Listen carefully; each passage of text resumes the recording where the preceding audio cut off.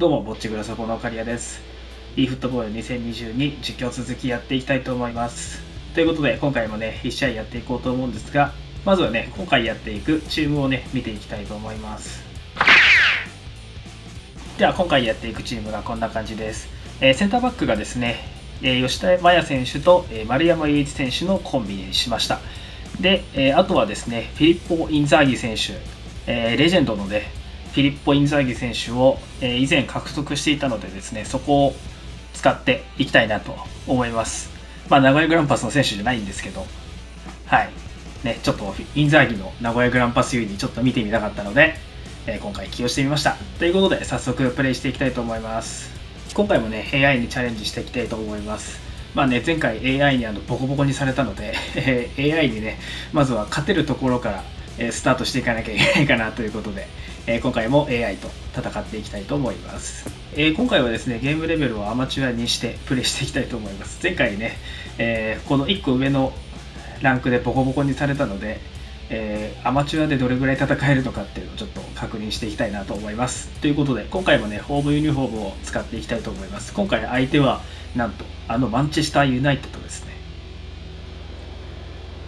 さあということで、えーメンバーはね、まあ、インザーギが入ったのと丸山選手が入ったので、そんなに変わってないですね。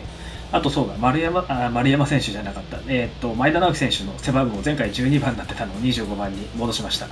はい。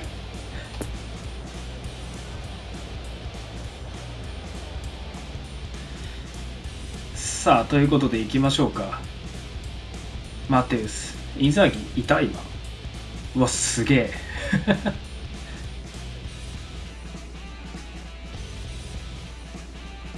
万有のユニフォームかっこいいっすよね。はいラングニック監督ですね。あれ、万有ってクリロナがいるよね。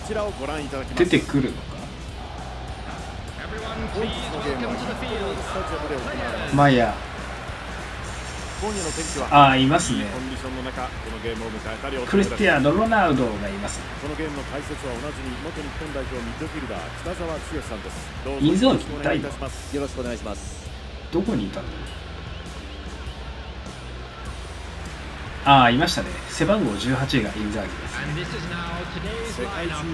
さあ行きましょうゴールキーパーランゲラックランゲラックでもあれですね長瀬戸のイメージが強いですねタフなリーグという方は多いですよねそうですよね。はい昔はビッグフォーなんて言ってましたけど、はいどのチームインザーギが本当にわからないですよね。ちょっと違和感あるなやっぱりどこにでもチャンスがありますよね。はい万有デヘアであバラン。はいはいはいはい。ブルーノ・フェルナンデスマティッチ。やべえ。でクリロナワントップ。カバあそうかカバーニもか。やばいな。さあ行きましょう。さあ今ゲームが始まりました。イングランドリーグ。名古屋グランパス対マンチェスターユナイテッド。さあちょっと早速ボールを奪われるのはやめてほしい選手は誰でしょう？ブルーノ・フェルナンデスでしょうね。テクニックに関しては言うことはないですよね。さあボール奪って。いけインザーギハードワークもできるので、いやちょっとあーちょっと長かったか。チームにとって彼の影響力というのは非常に大きいと思いますけどね。はい。さあそしてここだよここだよここだよ。おーいクリア。クリわあやった。決まった先生マンチェスターユナイテッド。出たよ出たよクリロナ今のゴールですが中盤で奪ってからの嘘だろ本ね。当に。これは積極的な守備が効きましたよね。そこからシュートまでのちょっと待ってアマチュアですら俺勝てない。よそれはともただ単に相手が強いだけなんだ。俺が弱いだけなんだと思うけど。いやーマヤさん吹っ飛ばされとるやんけ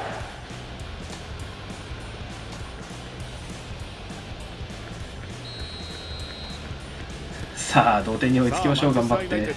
この早い段階で先制しました。はこのゴールは大きな1点ですよね。しかも時間帯もいいですよね。い。これで流れもつかめるでしょうし、このまま勢いに乗っていきたいですよね。いやーちょっとミスった。あいいんだよちょっとなんかせっかくインザーギ入れ,、ね、入れたからインザーギにちょっと活躍してほしいんだけど。豊さんちょっと。豊さん。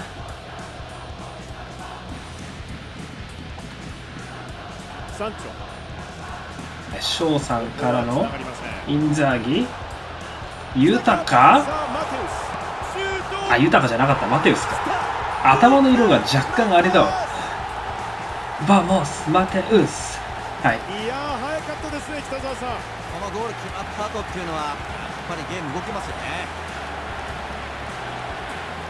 うんマテウスはやっぱり黒のが個人的には好きだな。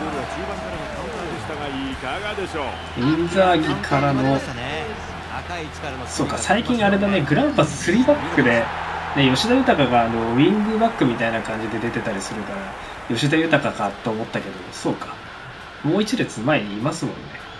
そうだね。4バックだもんね。はい。OK デヘアからゴール取るってすごいよねマテウスさあちょっとクーギから左サイド。マテウスからの。あー合わなかった。よしあー。翔さんから。これは合いません。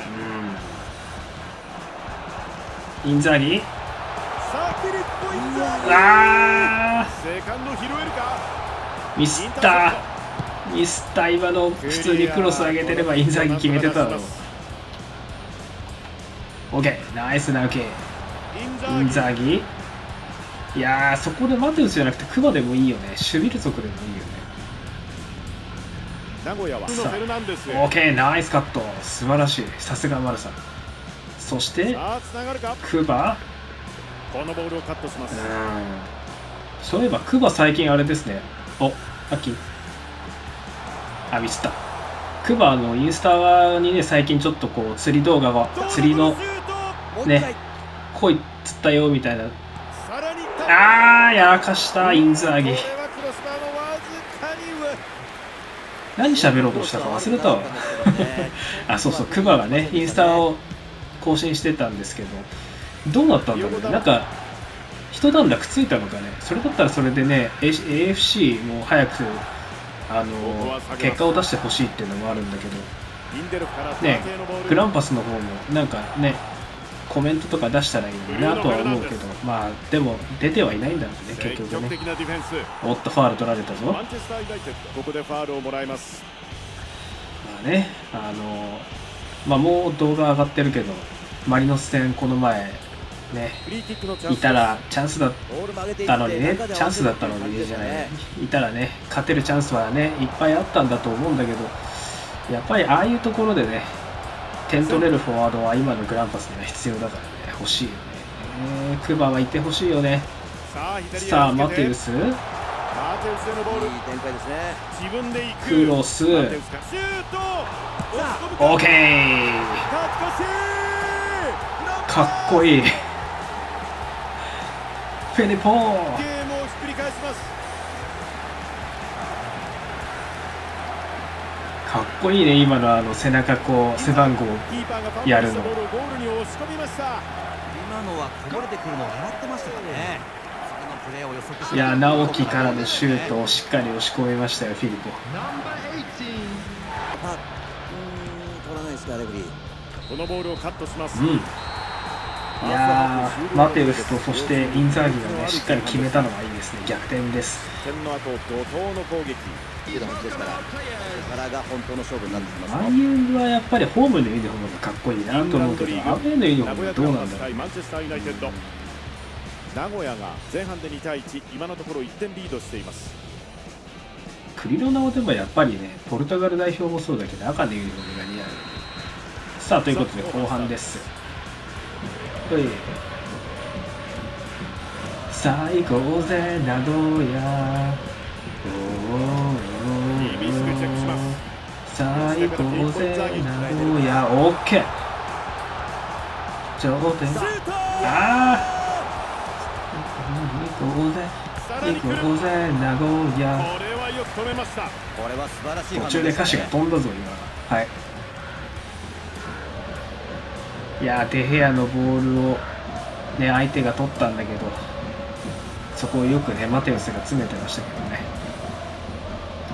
ショートでタイミングずらしていくのも効果的かもしれませんね。さあ高い守備マテウスのコーナーキック。難しい。か難しい。ここはディフェンスの対応。あれでしたね。マリノス戦のねあのね得点もねしあの中谷慎之介のゴールもマテウスのあのね綺麗なコーナーキックからでしたからね。あおうあーさあここちょっとしっかりおあーファウル取られた。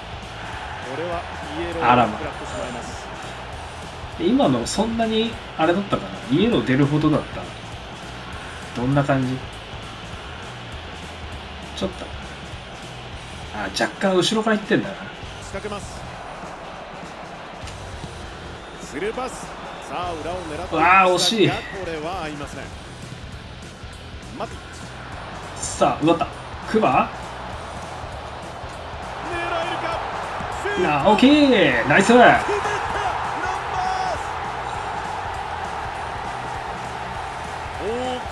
お前だなオッケーおおおおお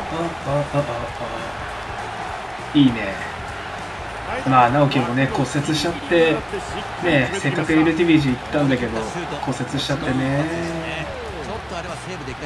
またね日本に戻ってきてグランパスでね活躍してくれるといいなと思うけどね。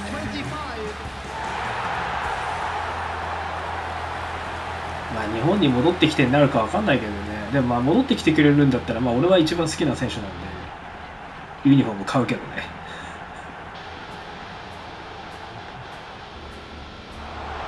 さあ行けフィリポ打ってシュート OK ゲッ